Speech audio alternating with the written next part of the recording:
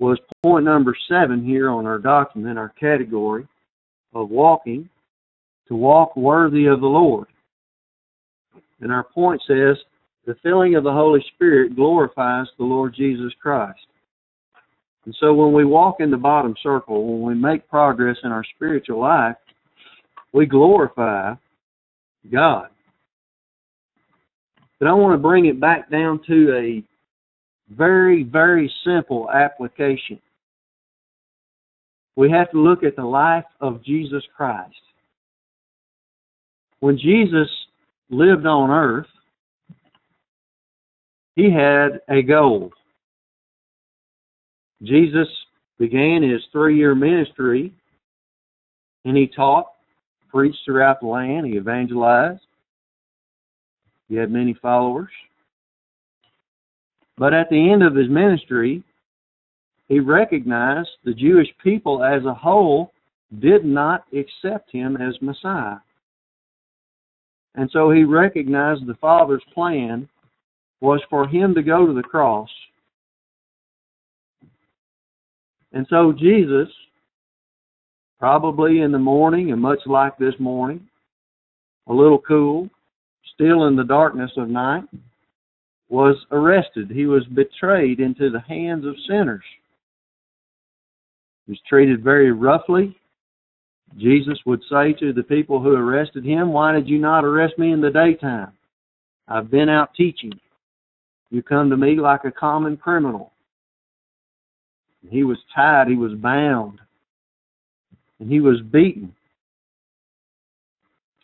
Jesus went through the court system, the only honest and just man who ever lived without sin, and yet somehow he was condemned by the justice system of the time.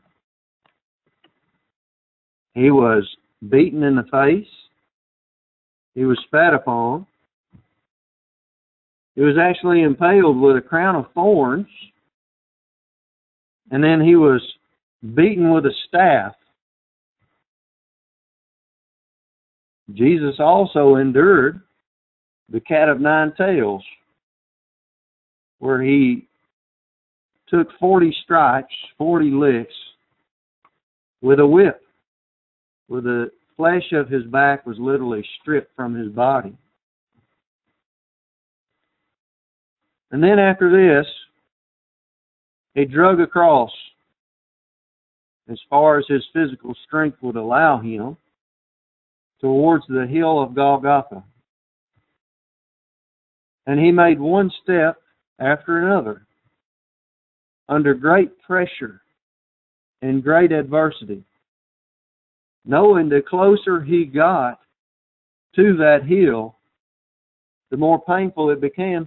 And not only that, that once he mounted that cross, that the worst thing that had ever happened to a member of the human race was about to happen. And Jesus put one foot in front of the other. He kept walking.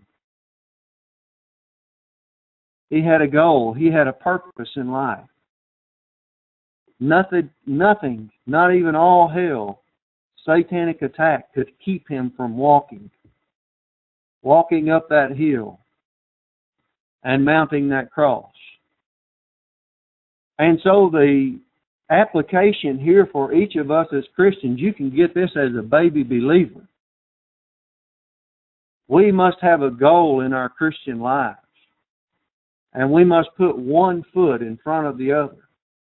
And we must go towards the goal. And we must have a purpose. But we must not stop. We must not quit. We must continue in God's plan. We must walk with purpose. When we walk with purpose towards that goal, which is our goal, is to be like Christ, we glorify the Lord and we put one foot in front of the other. And to walk worthy of the Lord is to look at your spiritual life and say to yourself, I know I haven't made it yet, but I'm willing, God. I am willing to put one foot in front of the other every day and continue that walk. and continue to grow and continue in your purpose for my life. And so when it says walk worthy of the Lord, we have we have a frame of reference for that. Because we know what Christ did for us. And now he's left us on earth as his representative. And we're going to continue to walk that spiritual walk, one foot in front of the other, and walk with purpose. So I want to give some concluding points on the doctrine of walking. Some concluding points. The Christian way of life is not standing still. You'll want this in your notes. The Christian way of life is not standing still. You see, you're you're either advancing or you're retrogressing. Because the soul, you say, "Well, I'm living on truth I li- I learned 20 years ago, Brad. I'm just I'm just living on what I got." No, you're losing every day. You lose what you don't use. You lose it, and it has to be replaced. And that's why we have repetition, repetition, repetition. We teach it over and over again, and you hear it over and over again. And so we see that the Christian way of life is not standing still. It is a forward motion, always taking forward progress. And so forward equals walking. And that's why the analogy is used because in walking, you're making progress. And isn't it amazing that we talked about in walking, you have to throw yourself off of balance to actually make a step. And the Christian way of life is the same way. You've got to have faith. You've got to have trust in the Lord. And from one step to the next, you don't know what's going to happen. But you're totally trusting. You're using the faith rest drill as you go forward. There is a term in the Bible called weak knees. It's used in Hebrews in Hebrews 12 about the believer under discipline. He has weak knees. He's slumped down. He's he's under the load of discipline. And it says to strengthen weak knees. And so when we're out of fellowship and we're not positive towards Bible doctrine, and uh, we may be pursuing our own goals out here, guess what? We get under divine discipline and we're not walking forward. And so we are to bind up, we're to strengthen, we're to rebound and get back with the program. Under the filling of the Holy Spirit,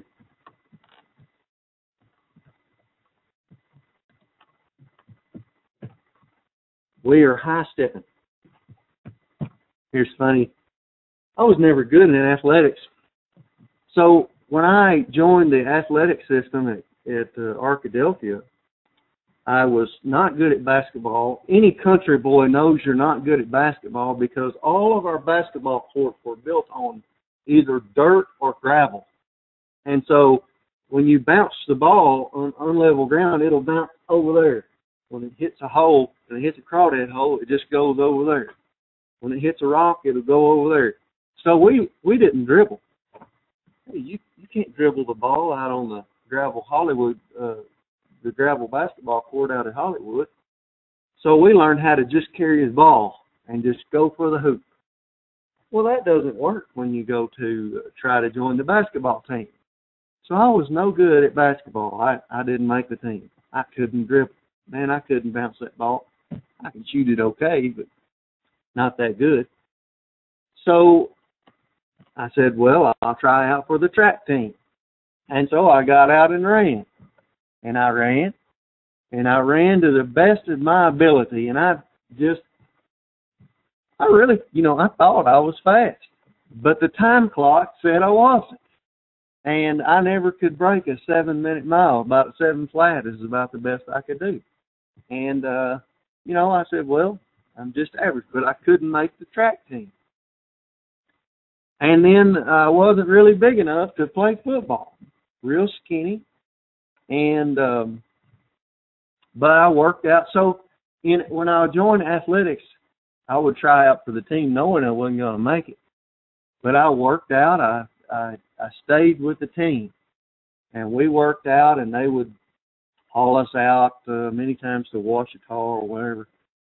Well, there was a hill right across from the Ouachita Stadium. If you look at those driveways over there, there's some big uh, there's some big driveways that go up there.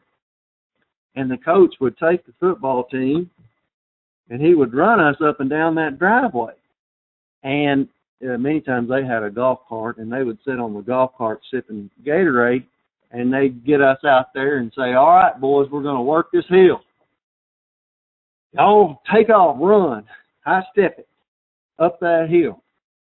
And I, I actually had an advantage because I was used to running through the woods and uh I could go up those hills pretty good, like kind of like a billy goat. And so I, and I I could make it up that hill and it would come back down. And some of those big guys, they didn't like the hill very good. But one of the terms that our coach would teach us, he would say to us, pick those feet up. Pick those feet up. I want you to high step it. I don't want to see those toes dragging. I want you high stepping. And it's the same application in the Christian way of life. When we're in the bottom circle, we don't have a problem high stepping, using that energy uh, that the Holy Spirit gives us to perform the duty. And so, weak knees under divine discipline, high stepping in the bottom circle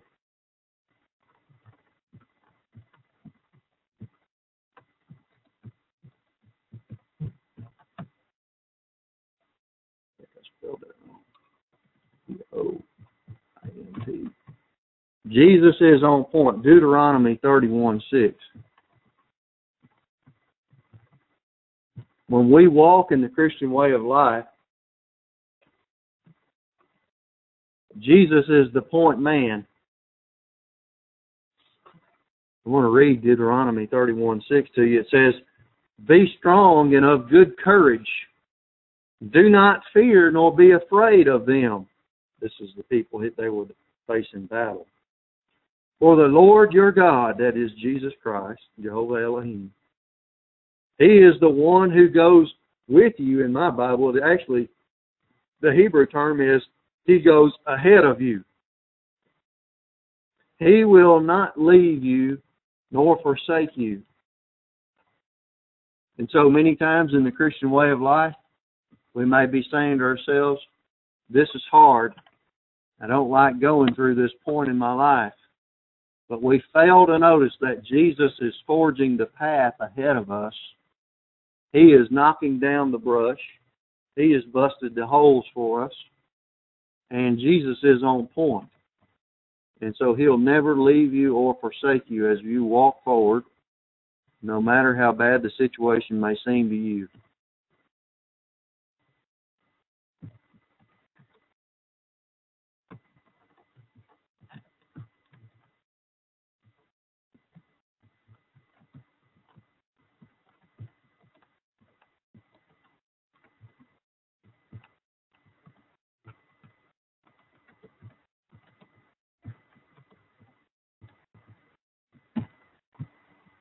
To walk with the Lord is to enjoy life to its fullest.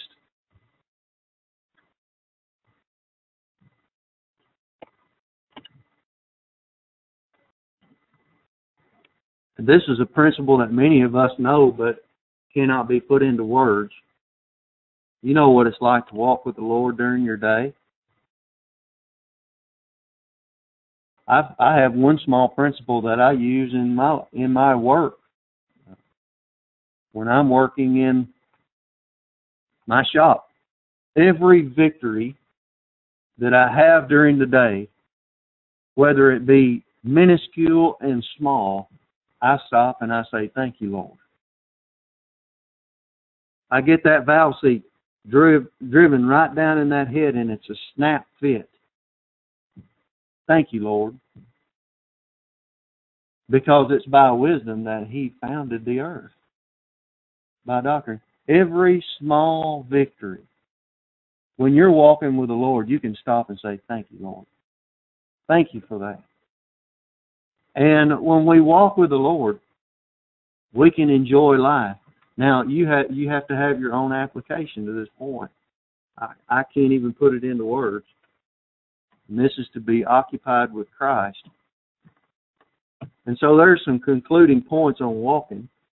We're going to switch gears and go to our next phrase here in just a moment. Of categorical information, and we've been stopping at each new phrase, each new word, to review that category. We have a new phrase.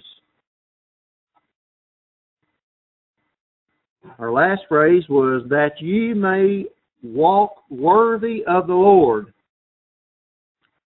And our next phrase is fully pleasing Him. And so we need to look at this for just a moment, and we're going to go on to our next category. How can we be fully pleasing to God?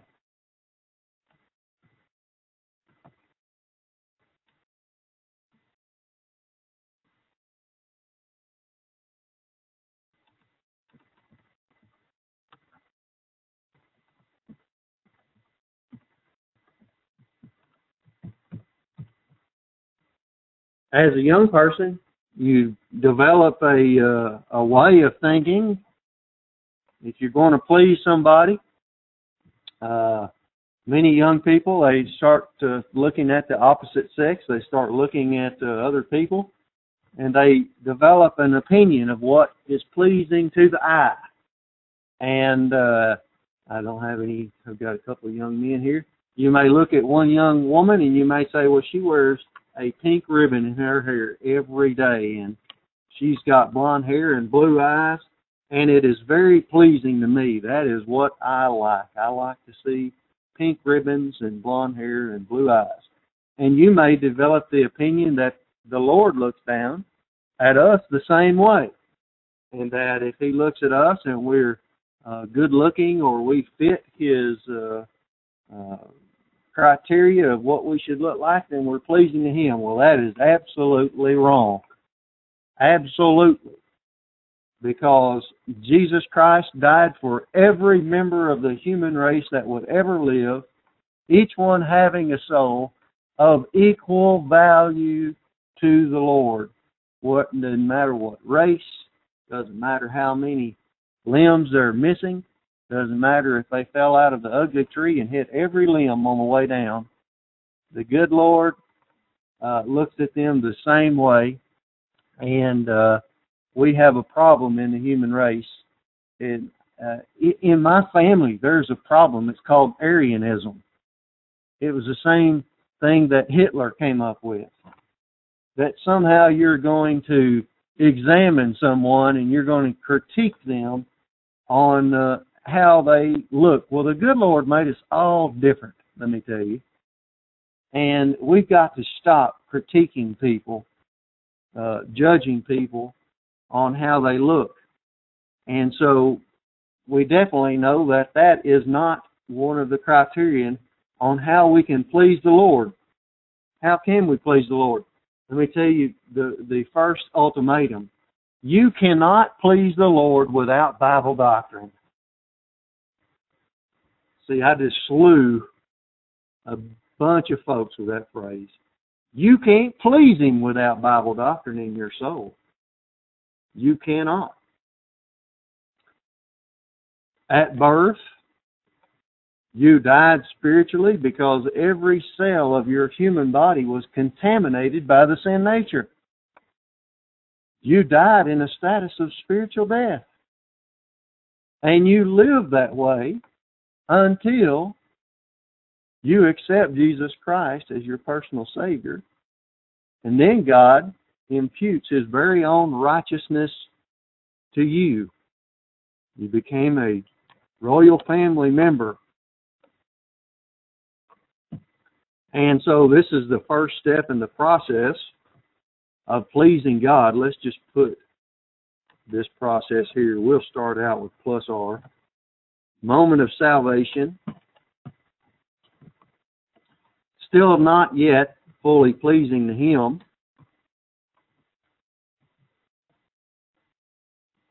We could use a lot of different illustrations here. I'm going to use the issue of super grace. When we break into gate 5 and 6 of Divine Dynasphere, that level of spiritual growth where we have a grace mental attitude, we understand the RMA, the impersonal love towards the human race, and then a personal love towards God, we break into a new plane of thinking. It's the grace mentality. And so, fully pleasing God means you are thinking doctrine like He thinks. We've developed a spiritual walk. Uh, we we could have put in uh, we could put in different things here. We could start out with plus R. We could go to the filling of the Holy Spirit. Um, we could go to uh, the super grace life and go on.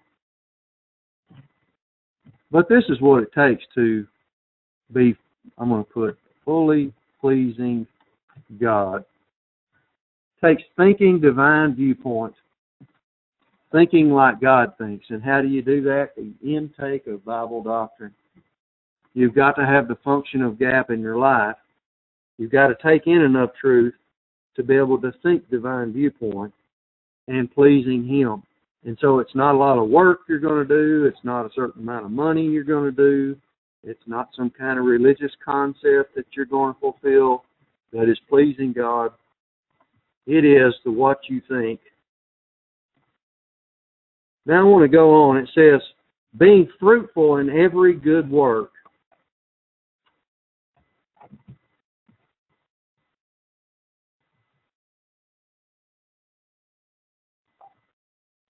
And so we're going to look at divine good in the Bible. Because our phrase says being fruitful in every good work. Fruitful is the Greek term karpophoreo. Karpos is the word fruit. Phoreo means producing or production. And so to produce fruit,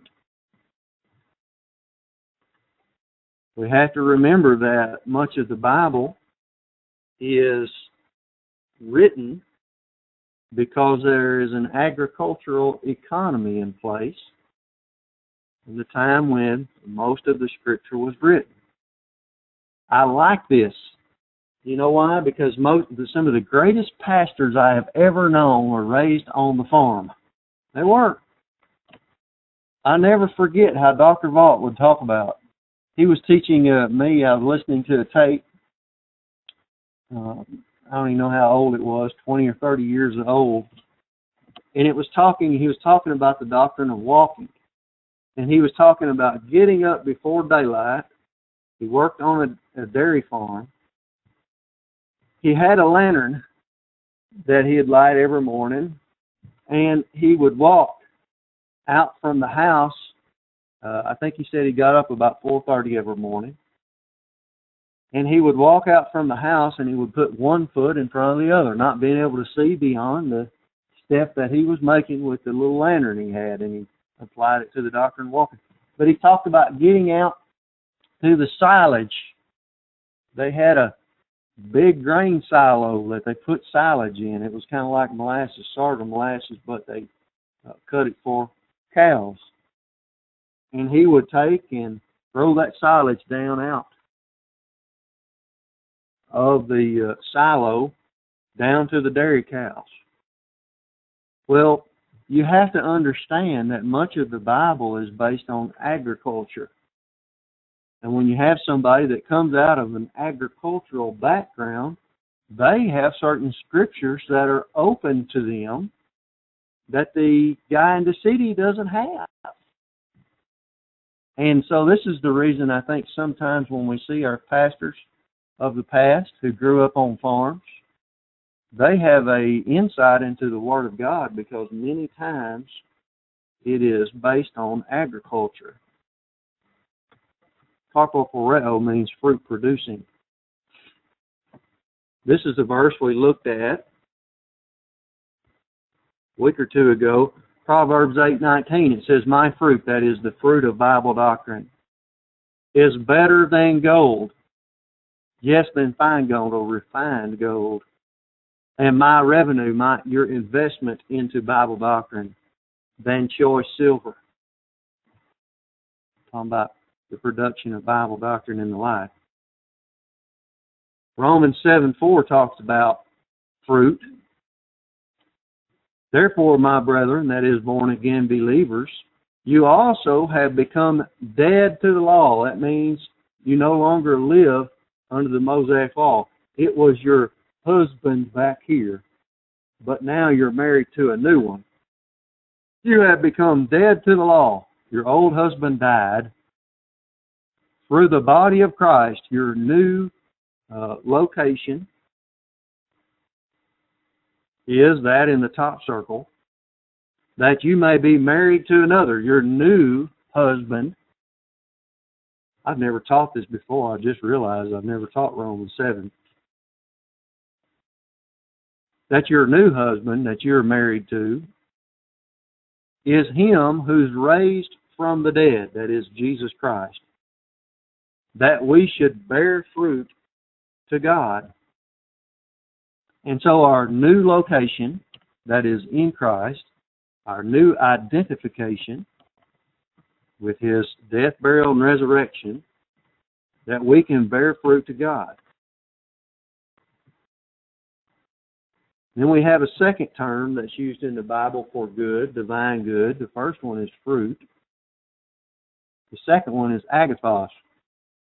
We're talking about divine good. Remember also, I didn't put down the fruit of the Spirit is divine good. Galatians 5. Agathos here is the word we have for good many times in our Bible.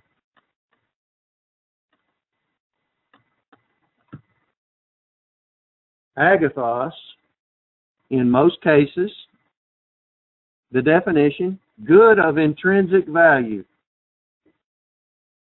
That means good no matter where it's at. You can take a gold ring. You can take a gold ring right now and you can put it around a beautiful lady's neck and it is it's accentuous, especially if you put a little cross on there. There's grace, grace, and more grace when you put a cross on a woman. And so it's beautiful, it's gold. But you can take that same gold and you can put it in a pig's snout. Has it lost its value in the hog's nose? No. Even though it's not nearly as beautiful and graceful, and guess, guess where it's going to go? It's going to go in the mud, isn't it? That's what hogs do. They root. And so gold has a intrinsic value, no matter where it is. Well, agathos, that is divine good, also has an intrinsic value no matter where it is found. We have a, another term that's used in the Bible, it's kakos, many times translated evil, but the definition is actually intrinsically worthless. So if you have Confederate money from the Civil War, Confederate paper money, guess what? It may be a cool collector's item, it might be something you could put in a museum. You might even be able to sell it on eBay. But you can't go put it in the vending machine. You know those vending machines that have a little thing up there? You try to put that Confederate dollar bill in there, it's not going to take it. You can't buy anything with it's intrinsically worthless. And so that is kakos, evil, and we're going to see that human good is intrinsically worthless. There are three kinds of good mentioned in the Bible. See, all good is not good. All good is not good. That would be some good basic Bible doctrine. There is human good. Genesis 3 7. Operation Fig Leaf. The humans knew they were naked. They sought out clothes. The clothes were good. They covered their bodies with them. But it wasn't the plan of God.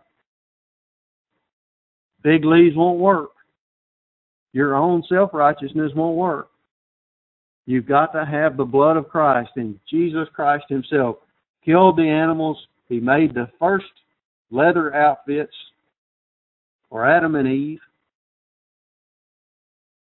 And human good, the first act of human good is Genesis 3 7.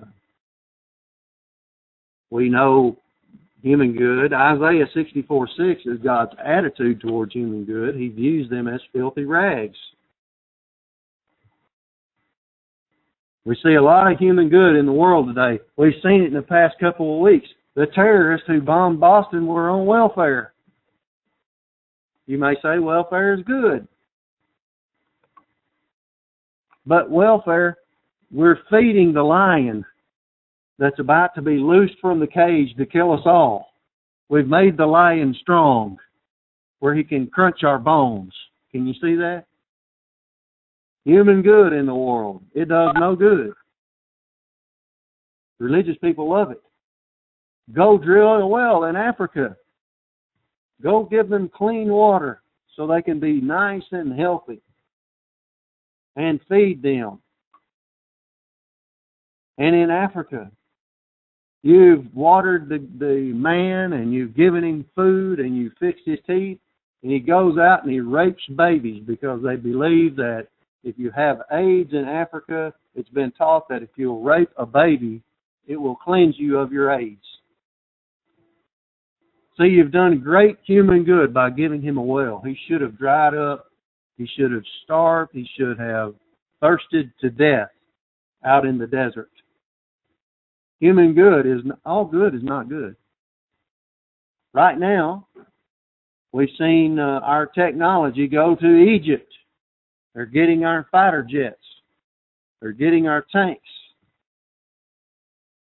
For some reason, they're supposed to be our allies. Except the Muslim Brotherhood is the way of government there, and they're totally against Israel. They'd like to see Israel annihilated. And while we've given them weapons under the pretense of being allies with Egypt, we understand that in the tribulation, the kings of the south will invade Israel seeking plunder. And so all good is not good. And you could go on and on and on. And this is what people don't understand. You serve in the soup line. Let's let's keep going here. See, I, you're not into this, but we can talk about it. You're serving in the soup line. You're giving the homeless guy a nice. Preston, you killed the deer and you gave it to Hunters for the Hungry. You're out hunting. You say, I've got extra venison. We're going to give this to Hunters for the Hungry. Hunters for the Hungry donates the venison, the best protein you can get, to the soup kitchen. You're out on Thanksgiving. You say, man, we're going to, when you serve that big bowl of hot soup, it's below freezing outside and you give this homeless guy a big bowl of that hot venison stew, and uh, he gets full, his belly's full, he gets warmed up, and now he can go out in the middle of the night and he can break into your neighbor's house and steal all of their uh, guns and all of their things because you fed him in the soup line. Can you see that all good is not good? And so the issue is, we're going to find out the issue the good that you produce needs to be under the leadership of the Holy Spirit. And if you're not led of the Spirit to produce that good, it may be human good. There's a second category of good in the Bible, it's establishment good. When we follow the laws of divine establishment, we produce good, and it is a good that is good in time. It has no value in eternity, but it produces a lot of good in time. It is for the perpetuation and protection of the human race, the orderly function of it, which we have to have to resolve the angelic conflict. And so we've given the four divine institutions. Number one is freedom or volition. Right now, we understand under freedom, you're free to make choices. You're free to build a bomb and blow people up. Yes, you are. But guess what? You're free to get ripped, bone from bone, arm from arm, limb by limb from people who are mad because you blew up their families. Yes, you are. To face the death sentence, however terrible it may be. Now, we see that volition is hindered because uh, even though we have murderers and they're not being put to death, they're being kept alive by your tax dollars. Right here, freedom is under attack in the United States. This is personal responsibility for your decisions. Marriage between a man and a woman. The right uh, parameters within which uh, sex is.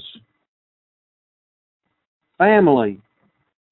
The right uh, location, the right habitation for raising up children with a man and a woman, a husband and a wife, and children under the parent's authority. I'll never get through this document if I keep preaching here. So we'll go on. Nationalism, patriotism, free market economy, capitalism. And so all of these things produce a kind of good that is good for the human race. It's good for a nation. It's good for the people in the nation, but it is locked down to time. It doesn't have any effect on, uh, uh, you can't have any reward because of it in eternity. And then the third category of good is divine good, and that's our passage, Colossians 1.10. And if you need a short definition of divine good, it is that good produced under the leadership of the Spirit that good produced while in the bottom circle.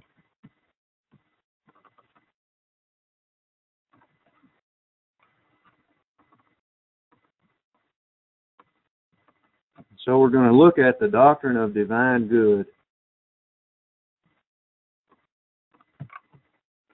The production of divine good is impossible by the human race. We're talking about unsaved mankind.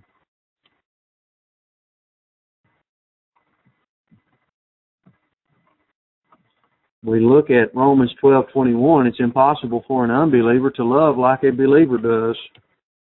The love that the believer has, unmerited, is wrought of God.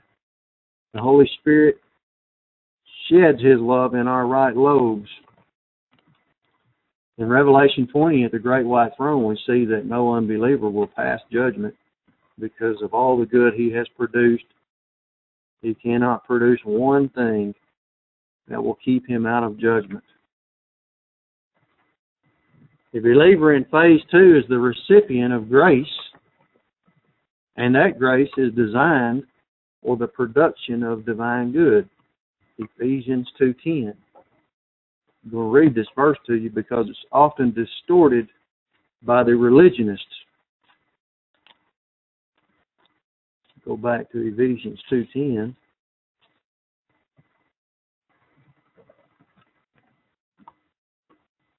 Ephesians 2.10 reads like this, For we are his workmanship. I love this.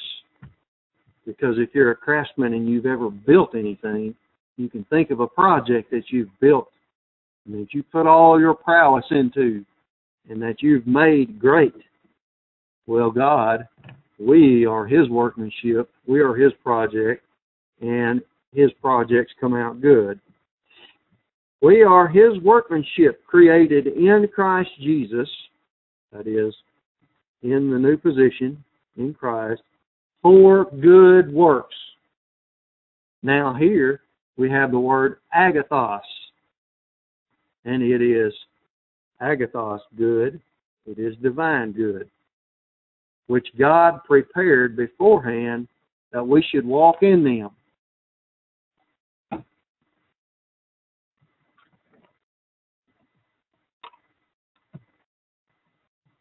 The grace apparatus for perception is the means for production. And so you say to yourself, well, I want to produce some divine good. Well, I need to go out. I got to go out and do something. No, you got to hit play. Because God uses prepared people. You may feel all fired up about doing church programs, going out and doing this and doing that, but I'm going to tell you what, you're going to find out all good is not good. All good is not good. Gap is the means for production. 2 Timothy 2.21. Read that with you. Therefore, if anyone cleanses himself from the latter, he will be a vessel for honor, sanctified, and useful for the master, prepared for every good work. Prepared believers. Also in 317. That the man of God may be complete. Artios, it means spiritually mature, thoroughly equipped for every good work. That is the mature believer. How do you get become mature through the function of gap. Titus 2 7. In all things, showing yourself to be a pattern of good works. In doctrine, showing integrity, reverence, and incorruptibility. And so, gap is the means for producing divine good, not going out, not getting involved in all the programism. Therefore, production is a grace principle. 2 Corinthians 9 9 and Colossians 1 15. 1 Corinthians 15 10, excuse me. These are verses on giving, and it talks about freely we've been given, by grace we give, and uh, by grace we receive, and by grace we give.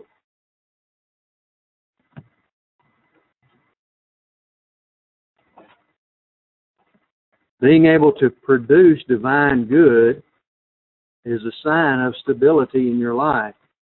2 Thessalonians 2:17.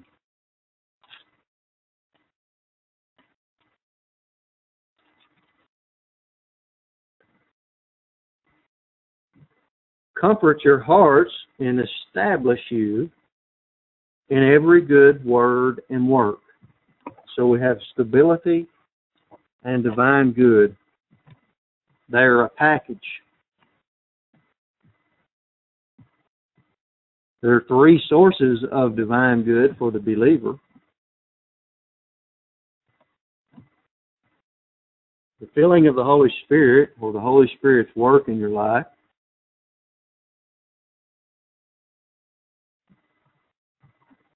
I had to stop and say, if you'll recognize none of this has anything to do with you.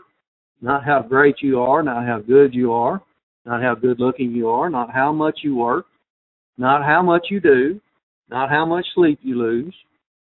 Has nothing to do with you. It has everything to do with grace. And divine good is a grace principle. The second source of divine good is the human spirit as you function in gap, the human spirit eliminates the truth. We call it pneumatikos. And under faith, it's, transferred to the right lobe of the heart. And also the edification complex of the soul.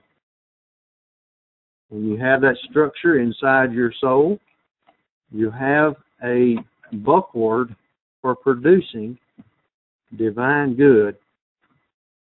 We're going to look at the edification complex later on.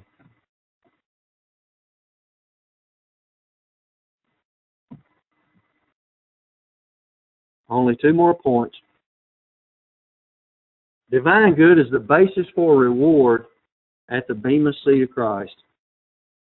2 Corinthians 5.10 One of the great Bema seat passages.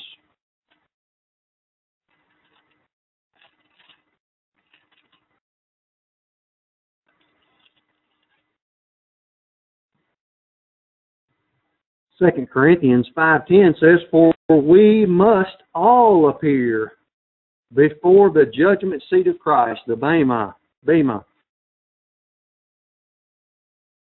that each one may receive the things done in the body according to what he has done, whether good, agathos, or bad, not sin, not hamartia, but kakos, intrinsically worthless. Jesus Christ is never going to mention one of your personal sins at the Bema Seat of Christ. If you have some human good, it's going to get uh, thrown into the fire and burned away. It's not hamartia, it is kakos. And so divine good is the basis for reward. The resolution of the angelic conflict re- requires divine good. John 15, this is one of the greatest passages on divine good in the Bible, especially for the church age believer. John 15, 1. I am the true vine, and my Father is the vine dresser. So you're, well, we're talking about a vineyard here. God the Father is the one who's going to take care of the vine. Every branch in me that does not bear fruit, He takes away. And every branch that bears fruit, He prunes, that it may bear more fruit. And so we have the picture of the believer in carnality and perpetual carnality and reversionism. It's like a dead limb. What did Pastor Small tell you about trimming the blueberry bush? Get rid of the dead ones. Get rid when you're clipping those blueberry bushes, the ones that don't have any blue, uh, any green leaves on them, the dead limbs. You clip those off. And so it says in this picture that God the Father, the believer that's in carnality, in reversionism, he's got locked in negative volition. God the Father clips that believer off. He cuts his appointed time short. He calls him home to heaven. He dies the sin unto death, and he is taken out, and he's turned to the side.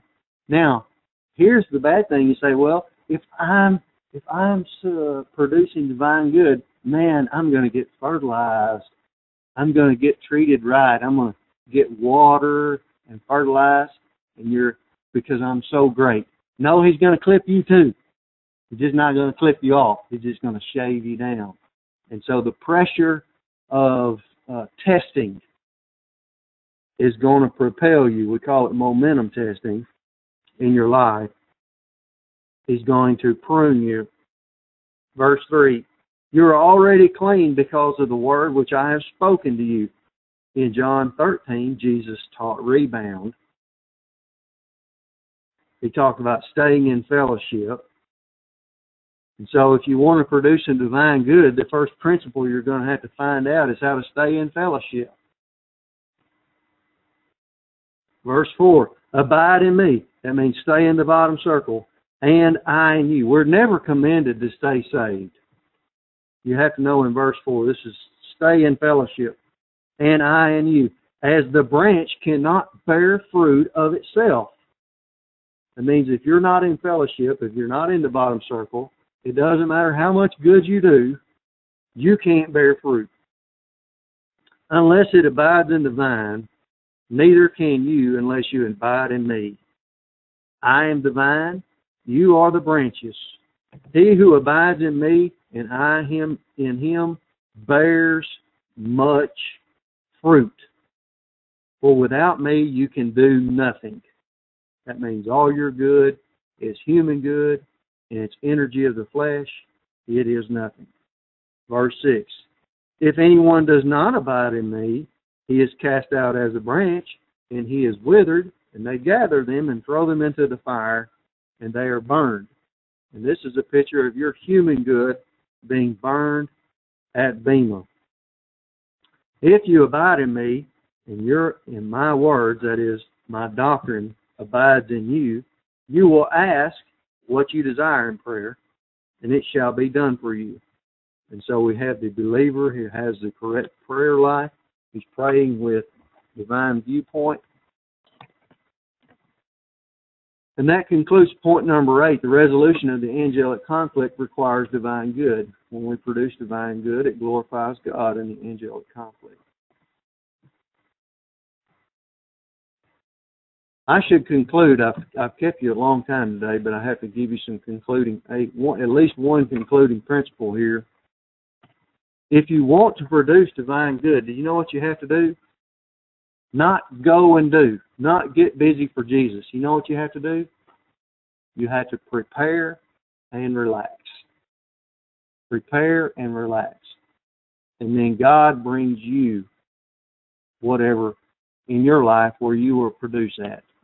Whether it be the person, whether it be by lips, whether it be by life. And so we prepare as believers and then we relax when you do that, it's like shooting the duck off two off the water at two paces. When you get ready to produce divine good. I want to thank you today for your attention and your attendance.